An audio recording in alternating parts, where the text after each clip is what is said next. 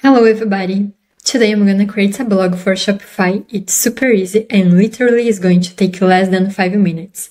So let's start. First thing, I'm using this plugin called Notice. You just need to type the name on the search bar, it's easy to find and it's for free. So we click here on Add App and then we are going to install the app.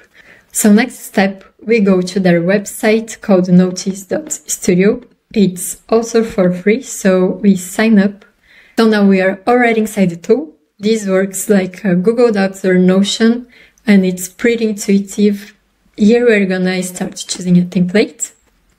As you can see, there is a lot of other types of content you can create, but I'm going to focus on creating a blog. And here I have the structure of it. So there is a title, a small introduction, you can add images and videos, and you have your articles. I'm going to go inside this one and you can edit this. You select, you're going to find all the inline possibilities. To start writing, you can tap slash and you're going to see all the blocks options here. A block can be a paragraph, headings, bullet list, also medias, code, of things. You have even complex things such as uh, AI text generation. I'm gonna choose this one. Let's try to write a short article about the future of AI. You click on generate. If you want to generate something in another language, you just have to specify this on your prompt. So here I have my article. You can edit this as you want. I'm going to put my title here. You can add more things, put some images to make it attractive. And here on the top bar, you can find more customization options. You can translate this in multiple languages, but I'm done with my article, so I'm gonna publish it. Now it's saved and I go to integrations. I find here Shopify.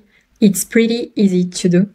As you can see, there is just one step. I'm gonna copy this code and I'm going to come back to my Shopify store. Here, I'm gonna add a section and you can go here on apps and you're going to find notice. It created a block and I can drag and drop it to different places. I'm gonna choose this one. And here on the right side, you're going to paste the code that we copied before. And here I have my blog. I'm gonna save. And that's it. It's already done. It's already integrated. And the powerful thing about Notice is that you can, for example, let's come back to the editor as you can see here, my background is white. It's not matching with my design, but I can easily correct this on the customization. I go on styling and I'm going to use this color to match my design. Every time you need to create a new article or do any changes, you go inside of Notice and there you're going to edit your content and click on publish. It's going to be synchronized with your Shopify you don't even need to log in with your Shopify account again. So it's pretty nice if you have, for example, a freelancer, you can invite them to write inside of Notice. You don't need to give access to the whole website. They can just write their articles there and update and publish everything from inside Notice. I hope this video was helpful and please leave your comments or let me know if you need some help.